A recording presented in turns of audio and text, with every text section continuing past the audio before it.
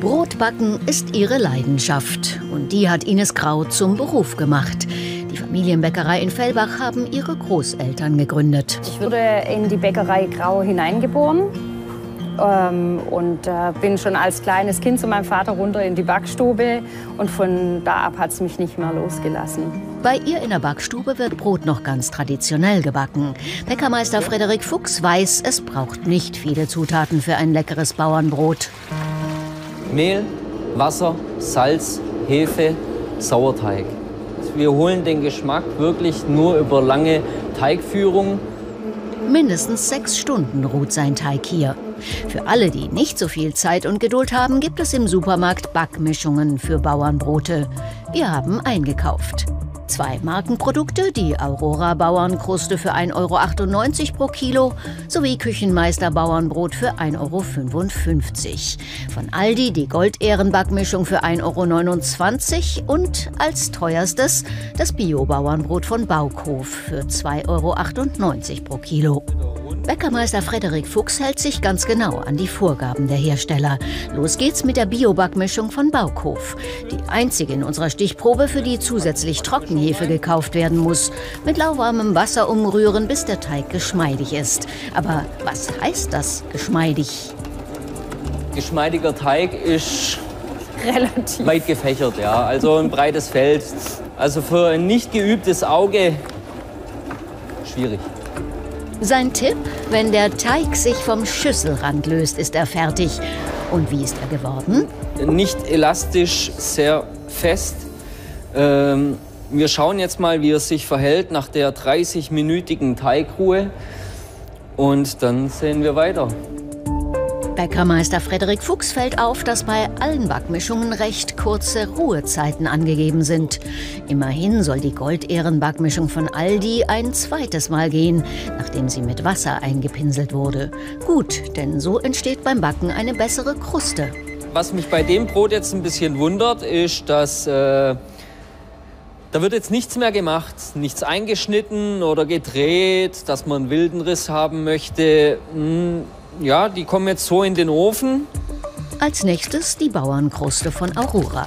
Frederik Fuchs wundert sich über die Angaben zum Knetvorgang. Mit einem Handrührgerät Knethaken auf höchster Stufe circa drei Minuten. Die mischen nicht, die gehen gleich volle Pulle.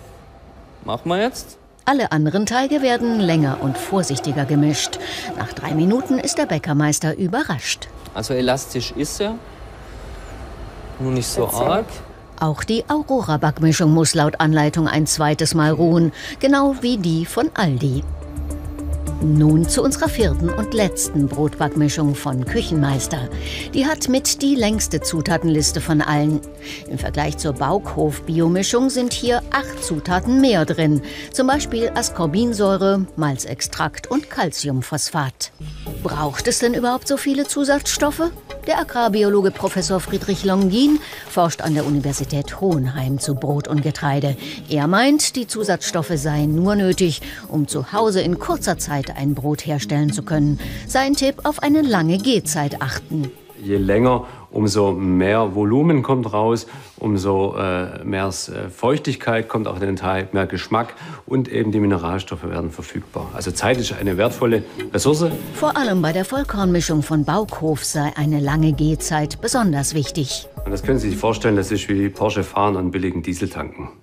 Also Sie nutzen das Potenzial vom Vollkorn nicht aus sondern da braucht man eine lange Teigführung, da werden die Mineralstoffe erst freigesetzt. Davor sind sie nicht verfügbar für uns.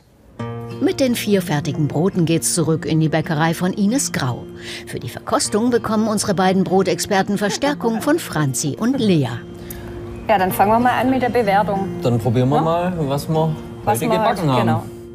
Als erstes das Vollkornbauernbrot von Baukhof. Pass mal auf.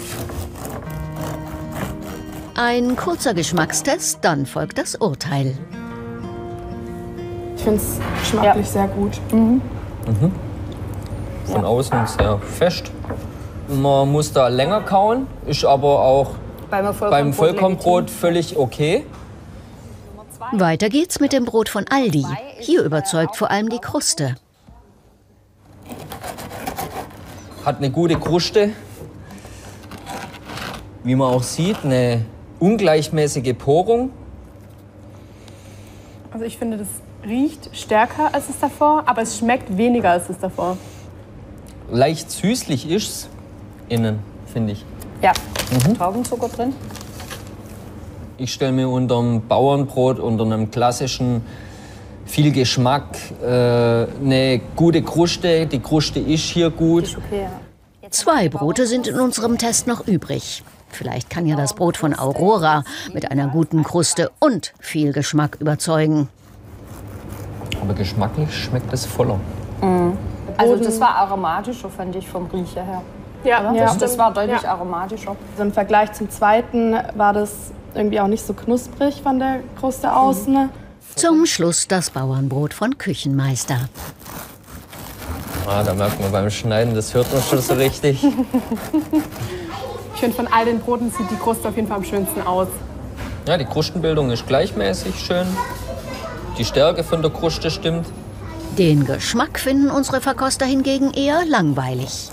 Und welches der Brote konnte am meisten überzeugen? Also wenn ich jetzt eins von diesen vier auswählen müsste, dann würde ich Nummer zwei wählen. Das Brot von Aldi. Was mir bei dem Brot wirklich gefällt, ist die Kruste, die Fensterung, was Qualitätsmerkmal ist beim Brot. Ich würde dann tatsächlich bei dem ersten bleiben, rein vom Geschmack her, weil es für mich am stärksten oder am intensivsten geschmeckt hat. Die anderen im Vergleich dazu ein bisschen weniger geschmeckt haben. Also ich würde tatsächlich auch das erste Brot nehmen. Fazit. Die Experten sind geschmacklich vom Goldähren-Bauernbrot überzeugt.